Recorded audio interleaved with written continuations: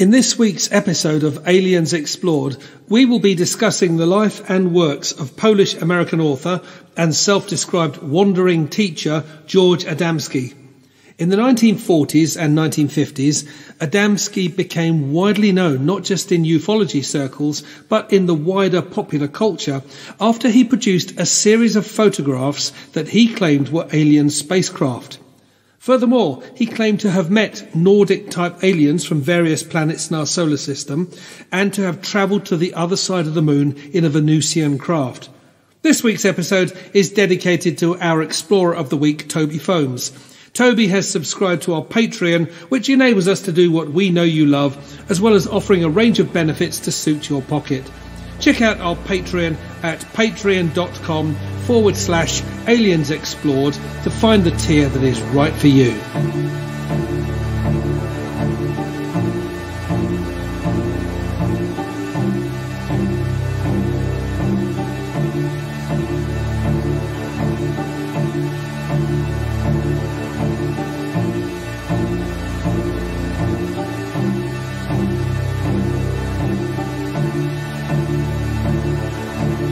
Aliens Explored is a weekly podcast exploring famous and obscure cases of UFO sightings, alien abductions, and other strange events from both a believing and a skeptical perspective, whilst keeping an open mind. I'm Stu Jackson, a professional actor and amateur ufologist with a particular interest in the crop circle phenomenon. I'll be debating that otherworldly visitations are real. The truth is out there. And I'm Neil Kelly. I'm a professional actor as well and used to work for the military as an intelligence analyst.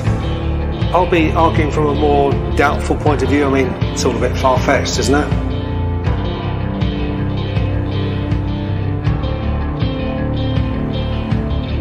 Welcome back, listeners, to Aliens Explored, your weekly podcast looking at all things UFO or UAP or alien or extraterrestrial or EBE related. I am one hmm. of your hosts, Stu Jackson. And I'm your other host, Neil Kelly, who'll be uh, trying to convert those UFOs into IFOs. Absolutely. at, at every opportunity. well, it's interesting you said because I always think that's a key part of any ufologist's job is Yes. to, you know, sort out the, the, the wheat from the chaff. Absolutely.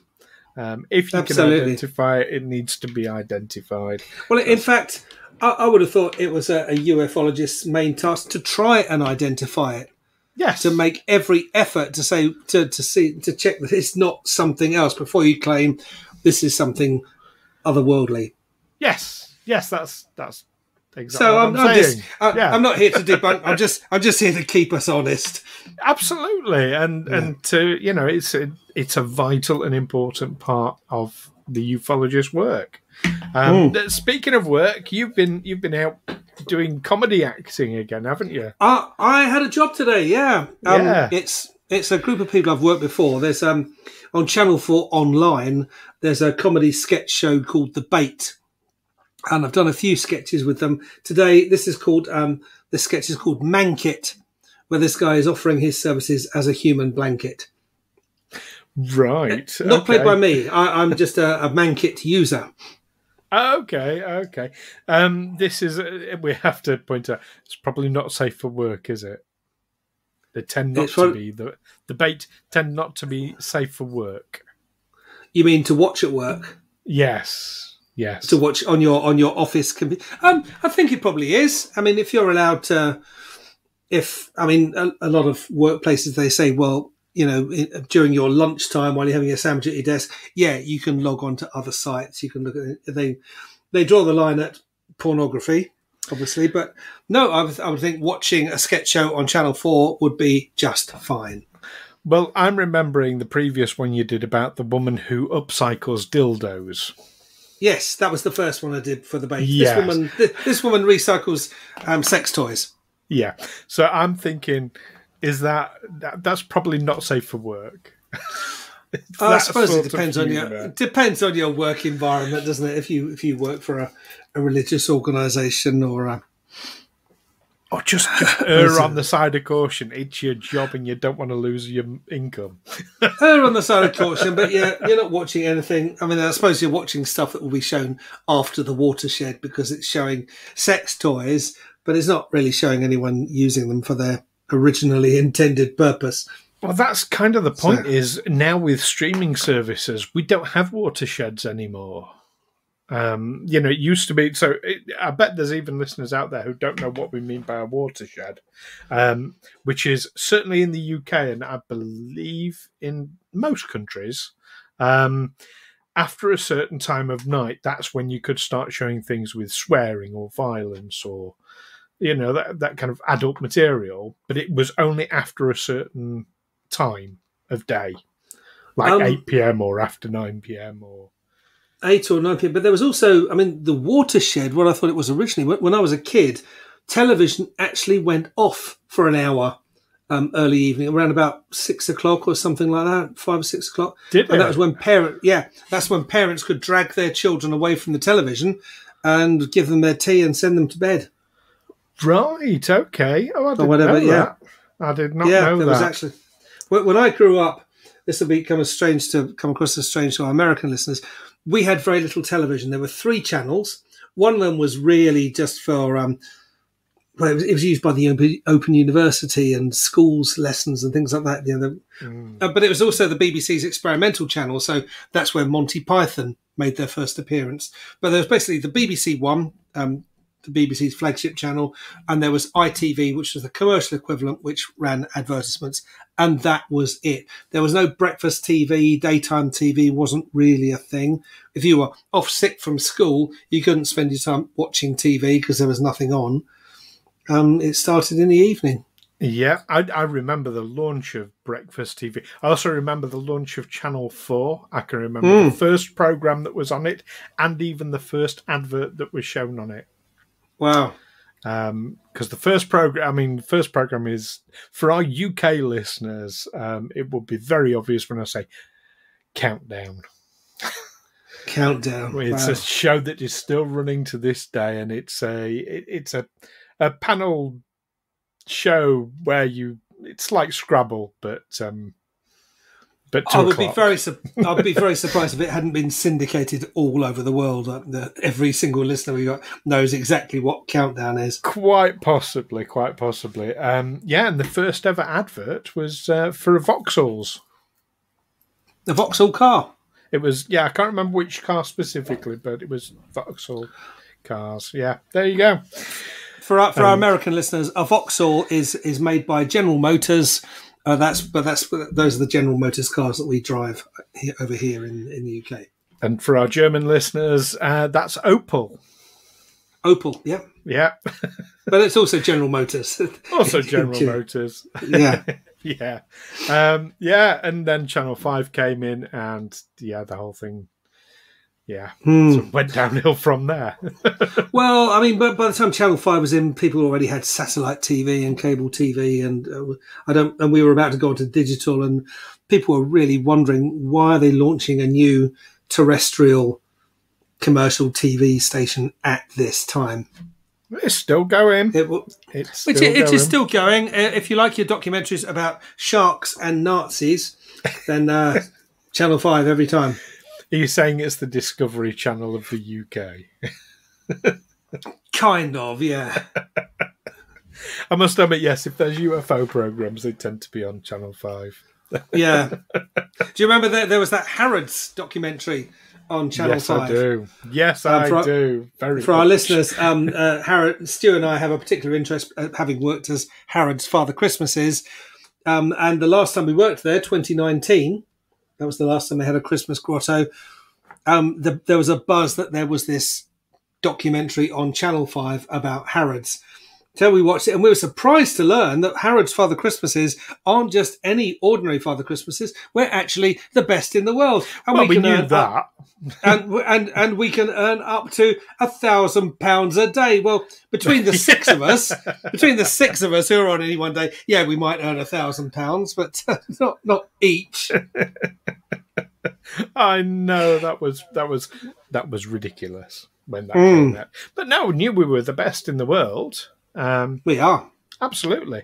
Harrods and Macy's, I think, are the kind of two Hmm. leadership ones. In fact, my first year at Harrods, um, I had a uh, well, I had a family come in, and um, as they as they left the visit, uh, the father sort of stayed behind a little bit, and he shook my hand and, and leaned in and said, uh, "There is an American family," and he said, um, "We went to Macy's last year. You were better." Yes, I'll take that.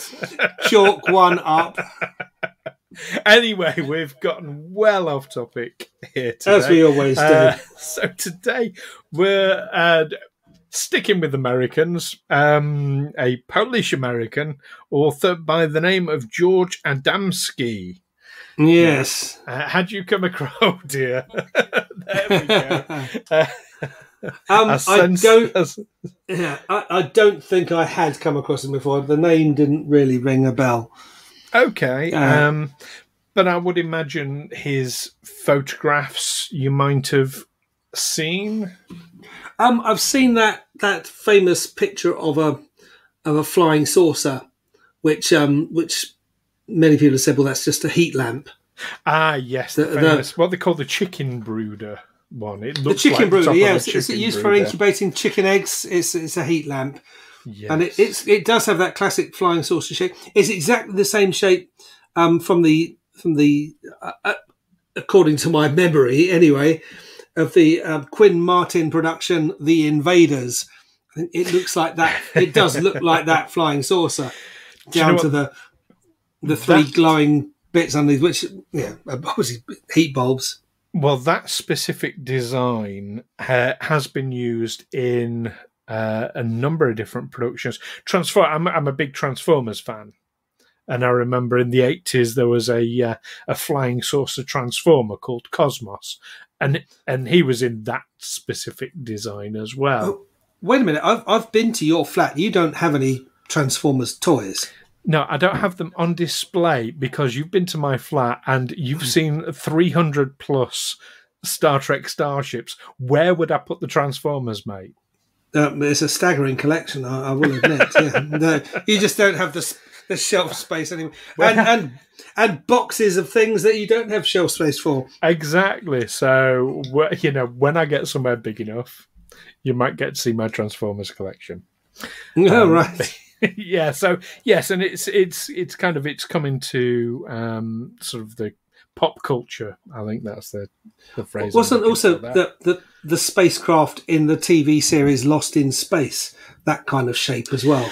Well, that was more so. So the the chicken brooder design, as we're talking about, is is kind of it's a bit more upright than your traditional flying Hmm. saucer, which is more of a shallow disc shape, and that was more uh, you're lost in space, and and of course, um, Forbidden Planet. Uh, they were Yeah, yeah, the Forbidden a- Planet logo. Yeah, it's Yeah. exactly that, isn't it? that uh, Yeah. that ship was a, a flying saucer. Um, so yeah, so, So- it- so- it's it's steeper than that. It's more sort of upright than that. Yeah, but so do we owe that design to George Adamski's fake Well, photo?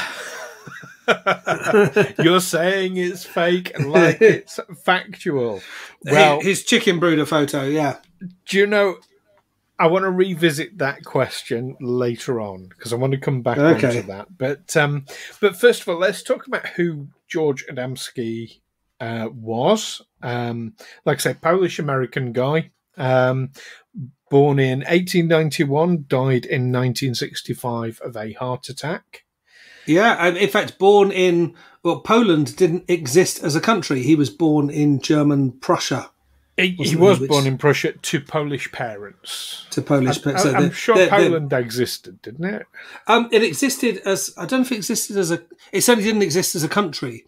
That up until the the First World War, Germ, the German Empire and the Russian Empire shared a common border. There was no Poland, so Poland was Poland had existed in the past, but um, it it was wiped out. It was invaded by jointly by the the Prussian, Russian, and Austro-Hungarians, and they just they just wiped it off the map. Uh, but yeah, there would have been people still there who were ethnic Poles who still spoke Polish, Um, it was only after the First World War that um, Poland was re-established as a as a country again, and then and then shifted its borders again after the Second World War. And uh, to any of our Polish listeners, uh, uh, yeah, um, well, he was two years old when they left. Um, it, hmm. it, was, it was Bromberg, I think, in Prussia. Yeah. Um, yeah, two years old, and when his family up sticks and moved to New York. So mm-hmm. you know, he's kind of he's quite strong with the American side. Um, yeah, and I can't really find out much information about him until he um, he starts getting involved with some interesting. I'll say religious sects. Um, I nearly said mm. cults, but that might be not entirely the right phrase. Mm. Um, um, certainly got involved in theosophy at one point, and oh, that's which is, which is which is dis- which, which is described as an occultist religion. It is. Um, I mean, there are a number of occultist religions, but uh, well, theosophy is is kind of an offshoot of. It's sort of a hybrid of occultism and Christianity. Okay, and then he was involved in a variant called neo theosophy. Yes, yes. Um, I mean, yeah, Theosophy. I, I personally, I, I have kind of issues with, but uh, let's not get too much into that, I suppose. Mm. Um, yeah, and then later on, he he starts releasing lots of photographs of different types of UFOs. Yeah. Um, oh, I mean, he just says they're they're alien vessels. Um, Lots, uh, and, lots he claimed to, yeah, and he claimed to have been in one. Yes. Um, so he he describes several times. Um, yeah, these Nordic aliens. Uh, hmm. So these are typically sort of they look pretty much human, um, with white hair, tanned skin, sort of almost you, you golden mean, you skin. Mean the, the kind of aliens that would appear in low budget sci-fi movies of the 1950s where they can't afford anything other than aliens that look like humans. Yes um, but also you know it, it has to be said that the nordic type aliens do crop up time and time again throughout ufology. Um, and it has been suggested that we in fact are an offshoot of their species. Hmm uh, well, when they when they arrived here and fucked a monkey. Uh, Is that well, how we came about? More like they're colonizing and seeded. As ah, right. Yes. but I mean, Adamski. Adamski knew how to turn a buck, didn't he? I mean, back in the 1930s, while living in Southern California, in, we were talking about his, his religious involvement, he founded the Royal Order of Tibet, in Laguna Beach, which held its meetings in the Temple of Scientific Philosophy. And the way he was able to make money was during, during Prohibition, um, he was given a government license to make wine for religious purposes. So okay. uh, apparently, well, Adamski was quoted as saying, I made enough wine for all of Southern California. I was making a fortune. But then, of course, Prohibition ended in 1933. And um, his business yes. model fell on its head. Um, suddenly, yeah. Um, suddenly, when it was exposed, the competition, that was it. He. Um... Well, it was uh, it, it, was famously L. Ron Hubbard, uh, the founder of Scientology, who was famously quoted before Scientology, and uh, of course, unrelated. I'm sure. Hmm. Um, famously quoted as saying, "If you want to get rich, the best way to do it is to start a religion." Mm. Now, the fact he then went on to start the religion of Scientology is, uh, like I say, unrelated. I'm, I'm sure. Yeah. Uh, again, um, the differences between the United States and Britain or places where uh, other uh, other listeners of ours are, are listening from, um, it's it's much easier to found a religion in the United States because people are more inclined to to, towards that sort of thing, it would be very difficult to do in Britain, I think. to just start a church of some kind and get people coming in. Uh, America has this tradition of the you know the traveling the traveling salesman, the the traveling faith healer. That you, know, you live in a small town, there's nothing else to do. This guy rocks up, and you go and see. Well, what's what's he about? Yeah, um, and we tend to be more skeptical and guarded here in the UK. Um, but people are generally less religious in Europe. Yes, I mean the yes. reason the reason the founding fathers went to the United States was because they basically they wanted to turn the clock back. They were they were 17th century Puritans who were dismayed at the creeping, um, well, the, the the the decline of the church in in in power making. Or, or running running things in Europe, so they thought, well, let's go to the New World and and make it anew. Let's let's make the kind of society we want to live in, which will be a, a very restrictive Puritan Protestant society. Yeah. And and America still has, for me, to, to my eyes anyway, when I've been over there, um, still very much bears the marks of that. Yes, although when you look at, at our kind of, I hate to say it, ruling class, um, Mm. church and state are very much intertwined.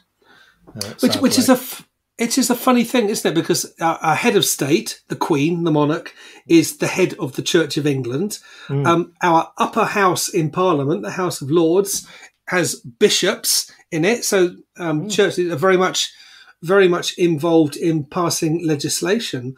Whereas in America, they have this official separation of church and state. I mean, I, I read a case this week where um, I think it was in Kansas that suddenly um, police vehicles were forced to remove their, their badge on them that said "In God We Trust," as you know, because it breaks the rules about separation of church and state. Obviously, it's controversial. Um, there are lots of people in America who who are always trying to to blend church and state in every way they can to make America a more overtly religious Christian country. Um, and people there are more religious, um, much much more so than in Britain.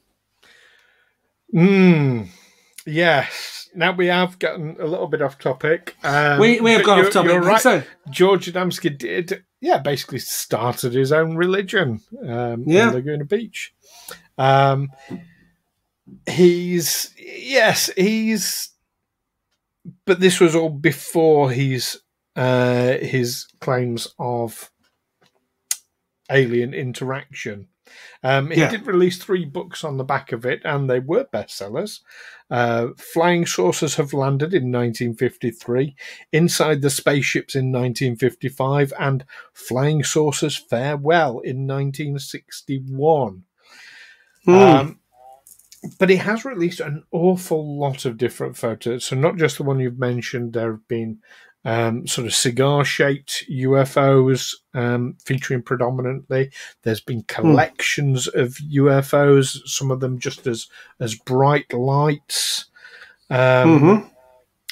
but the big the big event uh, and you mentioned him sort of having trips with uh, with aliens um, the big event for him came in 1952 when he made contact with one of these Nordic aliens who he claimed were uh, Venusian. Hmm. Uh, I mean, he made some wild claims like every planet in our solar system is inhabited, Yes.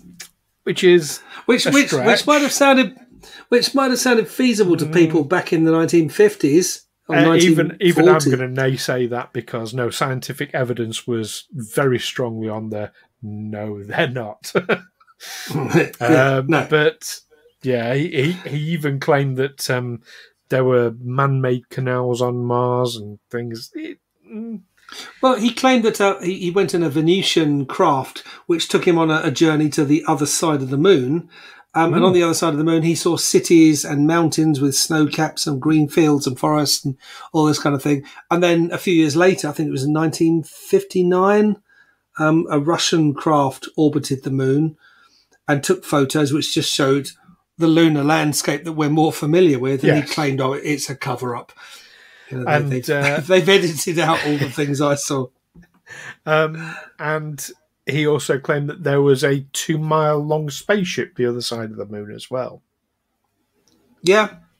Um, he also claimed that um, so, so, the primary alien that he was in contact with, uh, this Venusian, mm. uh, was called Orthon. Yeah. Um, and yes, he made claims that, that Orthon spoke to him telepathically, mm. um, but they would sort of stand and converse. Um, I suppose it just looked like a one-sided conversation, just observing it. Um, yeah. Yes, there were warnings about how we were going to destroy ourselves through nuclear um, obliteration. Uh, so wait, like. wait, wait, a minute. When, when did he? 1952. 1952. When yes. was the original um, "The Day the Earth Stood Still" made? Oh, around about 1950. Yeah, because that's exactly the same plot, isn't it? This, a... this, humanoid alien arrives and says, "You know, we've been watching you for a while, and now that you've got nuclear weapons, um, you're actually, things are getting a bit out of hand. We got to we got to step in now and, and give you a, we got to snap slap you down before you do some serious damage beyond your beyond your world." Um, on there your recommendation, similarities that you. I don't know if it's uh, a recommendation. Um, I, I, watched the I watched the remake, the 2008 remake of. Oh, I mentioned it the, other day. Yeah, yeah. You did, yeah. Was that recommendation, or did you just mentioned it? No, I but, just um, mentioned it. similar story, only he's come to warn us about destroying our planet, and basically he's on a mission. Um, humans humans are just one species out of thousands on this planet. We're wrecking everything for everyone. So basically, if we wipe out humankind, the planet will thrive. Um, yep. That's his mission. Um, not very plausible because he meets um, a scientist played by John Cleese who basically talks him out of it. He says, "Well, you know, we're we've reached this crunch point, but you know, now this is this is where we'll change. We'll suddenly realise and we'll fix everything. So don't worry." So he says, "Fair enough." and basically gets back into his flying saucer and goes off to where he came from. I imagine when he got back, they were saying, "What the fuck? You were supposed to have wiped out human civilization. Why didn't you?" Yeah, well, you know, they, they promised to change their ways. Well, since well, since you've been on your journey back, they've elected Donald Trump, who says he's going to he's going to tear up all these agreements on on carbon emissions. Um, they've elected Jair Bolsonaro, who says he's going to burn down the Amazon rainforest. Get back there now and do the job properly. Right. I'm gonna I'm gonna say it wasn't quite as cut and dried as just he meets John Cleese who persuades him. Um, he observed humanity in its mm. minutiae and saw the potential for development and change. Um, it was it was far more complex than just he meets John Cleese who talks him out of it. we, we've always had the potential to, to, to every every every problem that we are facing on this planet, whether it's it's um, climate change, war, poverty, um, hunger, disease we're, we're capable of fixing them all. Now we could fix yes, everything are. today. Um, yes. All that's all that's standing in our way is vested interests. All that's standing in our way is people hoarding money like dragons on their piles of gold. Yeah, yeah, and they that's want to continue doing that. And yeah. yeah. Anyway, right. So we've gone way off topic here. Um, yeah. So we talked about him, uh, George Adamski, no, not John mm-hmm. Cleese. Um, we talked about George Adamski um, going off visiting these other planets with this this uh, Venusian orphan, Orthon hmm. rather, uh, in a Venusian ship, and that brings us back nicely to that photograph we talked about, uh, because that was purportedly a Venusian ship. Hmm. Now, the thing I'm going to do you know what? I'm going to hold my thoughts to the summary um, on that. Hmm. And let's summarize where we are. So it sounds to me like you're absolutely convinced he is a charlatan and a fraud. Um, as are many other people. Um, he had a meeting with Queen Juliana of the Netherlands.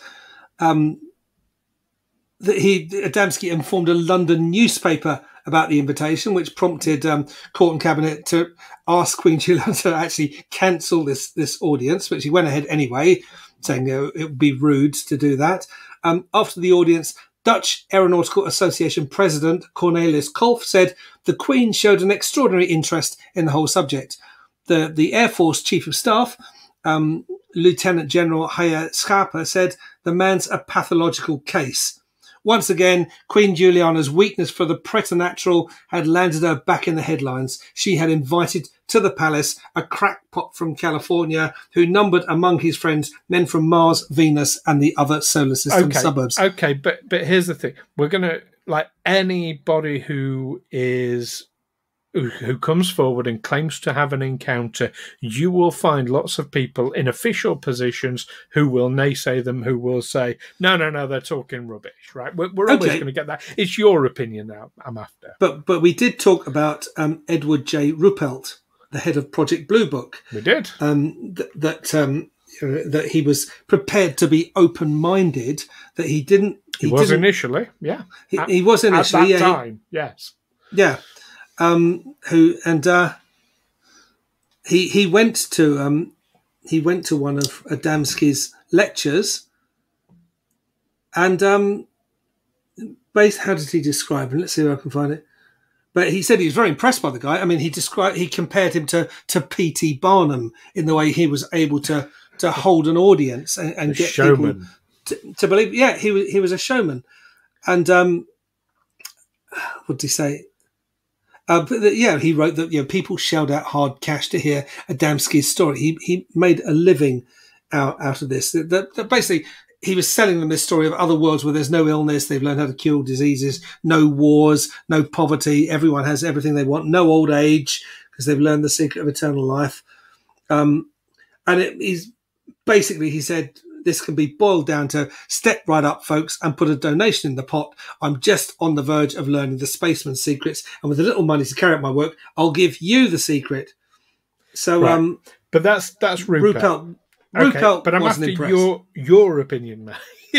Um, Rupert, view. oh, I like this bit. Rupert also noted that um, um, by 1962, beautiful space women who claimed to be Nordic aliens were dating Adamski, a blonde from Saturn called Kalna, and another woman called Ilmuth. So he was he was doing all right out of it. There's actually let me just someone else who was involved with Adamski. I'll just say this very quickly. You're avoiding the question. Yeah, an Anglo described as Anglo-Irish eccentric Desmond Leslie, um, who had created a low-budget UFO UFO film called "Them and the Thing." That's uh, "Them and the Thing." He made the film at his home. It's available to watch on YouTube. That's "Them and the Thing," made in he- 1956. He co-wrote um, "Flying Saucers Have Landed" with Adamski in With Adamski, yeah. yeah. So, um, my opinion, I, I think that Adamski was, um, yeah, I, I, I'm inclined to agree with with Ruppelt that he was a showman. He realised that there was money in this. He'd, he'd started religion to make money. Um, then he switched to when with the in the in the- UFO craze. He realised there was money to be made with this as well, and Okay. he, he did make money. Um, but I don't believe him. I don't believe he he went on a Venusian spaceship round the moon. I'm very much inclined to agree with you. Um, Okay. The guy, it seems, it, it seems to all appearances like a complete and utter charlatan and someone who made a lot of things up. He was also known to be fraudulent. Um, Hmm. Let's take all his previous experiences um, out of it. In 1957, he claimed to uh, receive a letter um, inviting him to a cultural exchange committee from the US State Department. That was a Hmm. complete hoax and fabrication. And yeah, I, I would say, yeah, he looks and sounds completely and utterly like a like a con man. Yeah, I- I, However- think. There's Um, one thing, Yeah, and it comes back to this photograph of this one ship that we talked about right at the beginning. Hmm. It is the same or very, very similar design to the German Haunebu Hmm. um, designed spacecraft. They're basically the German flying saucers, which we've talked about in a previous Hmm. episode. And additionally, it's a very, very similar design to the drawings um, made by uh, our friend Lazar. Bob Lazar. Bob Lazar, yeah. Hmm. Um, I th- my theory, and there's all it is. It, it's a theory, is that George Adamski happened across some genuine UFO material and built everything up as a show around it. They say that with the best lie has a grain of truth to it. And I think that they, UFO they, is the grain of truth. But they also say if you're caught telling one lie, that casts doubt on all your truths. Oh, of course it does. Um, uh, what I think was that uh, was it in 1946. He was with some friends, and they they saw this incredible meteor shower mm-hmm. while, while they were out camping, and that would have been the year before the year before the the whole flying saucer craze with, with Roswell and, and such. I think he he latched. He thought, "Oh, there's something in this." he he realized he could make. I think that that just gave him the idea. The the combination of the two, seeing a meteor shower and then hearing about these flying saucers. Yeah, I, think, I, yeah, I, I, can absolutely get on board with that um, completely, but I do think that this this particular design of flying saucer shouldn't be dismissed out of hand as a result. That's my thoughts. No, if you can't you can't say for sure what it is, then yeah, don't dismiss it out of hand. The fact it's got this connection but, with Bob Lazar, with the um, hmm. the the Nazi flying saucers, that that seems like too much of a coincidence. But anyway, listeners, what do you think? Have we got it completely wrong about George Adamski? Was he a very genuine and misunderstood person? Perhaps is that what you think? Eh, and any family members out there who want to want to re- rehabilitate him in our eyes, t- tell us off. Yeah, we've we've been oh. a bit unkind to George Adamski. Absolutely, do get in touch, or if you if you think we're absolutely on the money, and uh, yeah, the guy was a con artist. Um, let us know that as well. Whatever you think, you can contact us via the usual means uh, by email at aliensexplored at gmail.com. You can find us on Twitter and Facebook by searching Aliens Explored. Or if you are one of our Patreon members, like Toby is, uh, then you can uh, get access to our exclusive Discord server, the Aliens Explored Discord server, uh, where you can chat with us and like minded people about any of the topics we discuss here. Um, join us next. Oh, in, I ought to say. You can find details of our Patreon tiers, and we got quite a few of them, and there's some lovely goodies in there. Um, something to suit all pockets, we like to think. Uh, hmm. you can find details of that at patreon.com forward slash aliens explored. Um, join us next time, though, when we will be looking at the events of June 1977 surrounding one Terry Lovelace. Whoa, and, looking uh, forward to that. His experiences. So, yeah, don't miss that one. In the meantime, keep watching out for the charlatans and watching the skies. Well, personally, I'm off to watch them and the thing on YouTube, so I'll, I'll report back on it at, some point later. It's um, only uh, it's it's only 20 minutes long. Not actually right. 19 minutes, 19 minutes and five seconds. So I think uh, my attention okay. will last that long. But uh, yes, you enjoy that. catch you next time. Take care.